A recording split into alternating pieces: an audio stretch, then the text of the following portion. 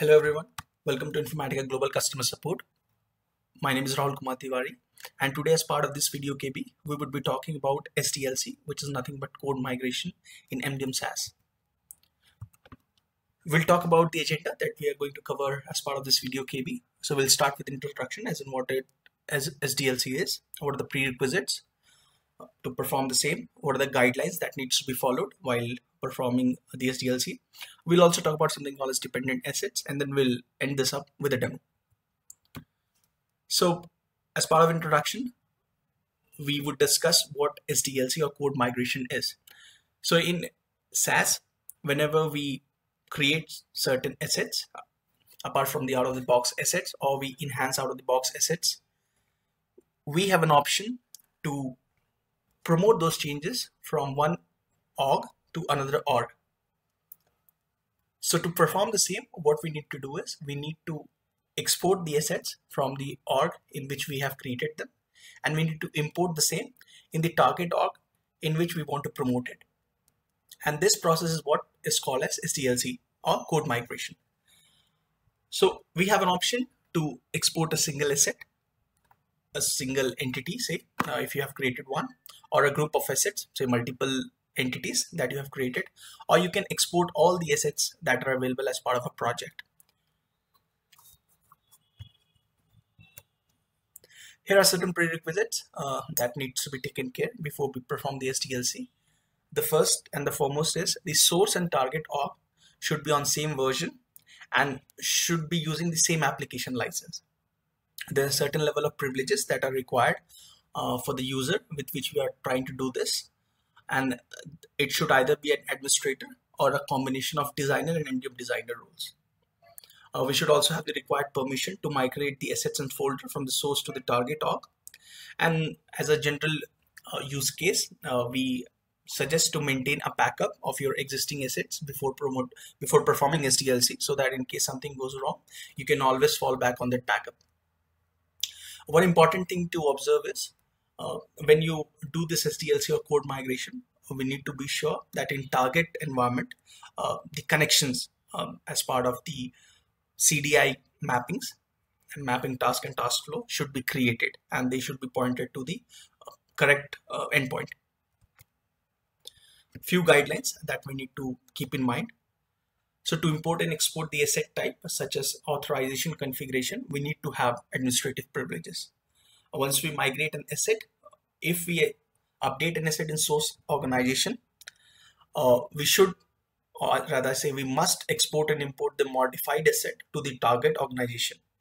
And we should be ensuring that we have not made any other changes in the asset uh, that is already present in the target organization uh, the user role that have updated the assets in the source organization should be the one to perform the SDLC or the code migration.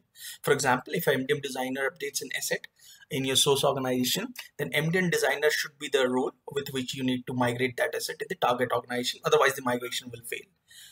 Uh, when you migrate reference data as part of your uh, or uh, when you migrate your RDS from your B360 control, only the RDA metadata gets promoted. The code values are not promoted. Uh, we cannot delete RDAs that are created in Business 360 console from your R360. Uh, once you migrate the RDA between organization, uh, it is suggested not, not to modify the name of the RDAs in the source organization because if you have done that and you try to do the migration again, instead of updating the same asset in the target, it will create a new asset. Here are a few of the assets that you can export and import. Um, they are straightforward authorization configuration, predefined and custom source systems, predefined business entity, business events, custom 360 business application with custom pages, reference data asset crosswalks, enterprise and custom code list. Uh, thing to observe is we are talking only about the metadata here. The actual data would not get promoted. Hierarchies and relationship, job definitions such as match and merge, generate merge task, and recover a failed job. Rule specification such as advanced data quality rule, custom and predefined reports, a report set that contains a collection of custom and predefined reports, mapping, mapping task, task flow. Caveat is that we should have the connections in place pointing to the correct endpoint. Custom business entity, uh, which includes custom fields, fields groups, smart fields, match rule, basic and advanced data quality rules, or dash rules. Survivorship and search configuration. Now there are certain types which we cannot perform export and import for and these are ingress and egress job definition, processes, code values in reference data set and job schedules. Okay, so we will talk a bit about dependent asset as well before moving on to demo and what actually dependent assets are. So at the definition stage, it's a one-liner uh, definition. Dependent assets or objects are assets that other assets require. For example, if I have a business entity, a custom business entity created in my org, and I have and I have tied it up with a and I'm trying to import data into that business entity through a custom source that I've created. So that custom source becomes a dependent object for me if I want to promote uh, my custom asset to the target org. So the rule is either the custom source should be present in the target org or while doing an export for the custom asset that I have created, I should select the dependent objects and as part of that selection, I should take the export of the source and then while doing import that will get imported.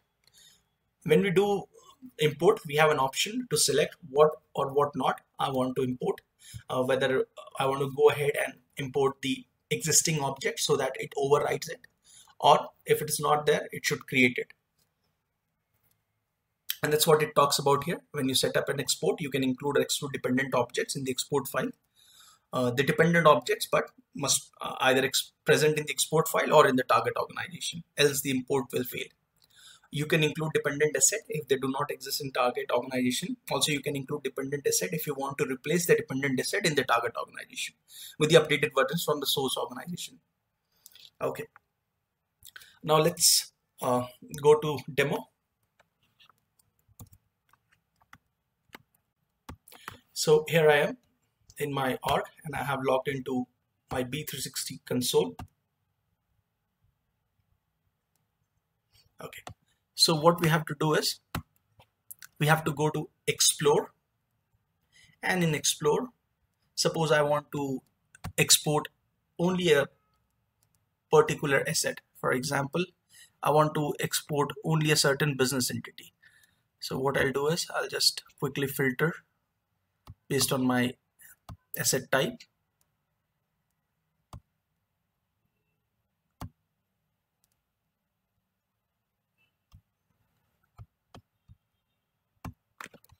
okay so I'll take type I'll take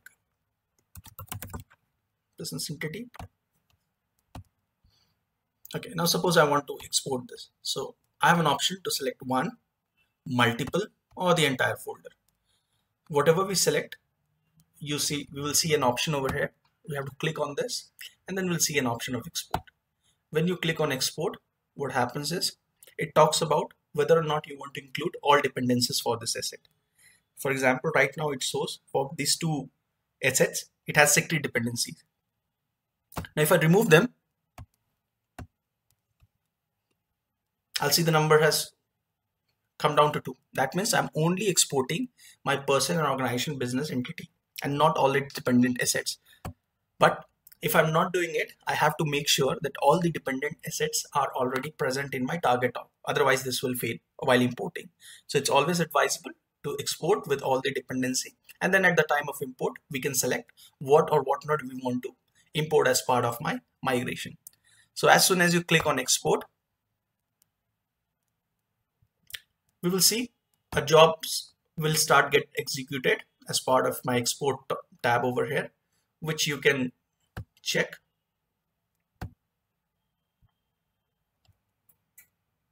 okay so once you click on refresh after a while the job will uh, show its status.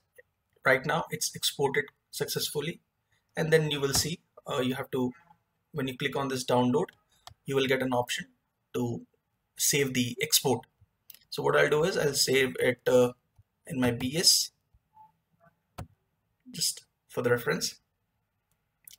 And then once it is saved how do we import it? So what we have to do is we have to go and log into my target org so for the timing i'll be using same org to demonstrate the import as well. So for import what we have to do is we have to again go to explore. This time instead of selecting and clicking on export we see an option over here import. So when you click on import it asks you to choose the file. So we'll choose the file uh, that we have exported. So this is the one which we have. And when you select this it will show us all the asset that we have exported over here so now over here we have got two options. It talks about overwrite existing assets excluding connections and runtime environment. That means if i select it if an asset is already present it will overwrite it. If i don't select it it's quite understandable. It will uh, just use the target uh, one. It does it would not overwrite it. Over here I have an option uh, to select what type of suppose I have exported with all dependency but I know that okay this source system is already there and I don't want to import it. So I have this options to uh, remove it from over here. And then uh, once done uh, you just have to click on test. This would be uh, just a sample run or a trial run to see uh, whether or not all the dependencies for the assets are in place.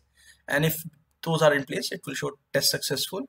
And then you can go ahead and click on import so when you click on import again a job will get executed and that job will be uh, again as part of your my import export job this time it will be an import and you see it will show the import completed successfully so that's a short demo on how to perform this SDLC. Hope you find the video useful. Just uh, another point to add. When you import an existing business entity with a different search configuration, for example, you created one custom asset in your target org, uh, and then which was having a different set of searchable fields, and then you added another custom field uh, in your source org which you promoted and it was searchable. A, re a re-index job is automatically created in the b360 folder of the target organization and then re-index job uh, re-indexes the business entity records have, that means if you import the business entity again with a different search configuration a re-index job instant based on previously created re-index job index uh, will reflect the search configuration changes. Okay. So this is an additional info. Hope you find this video can be useful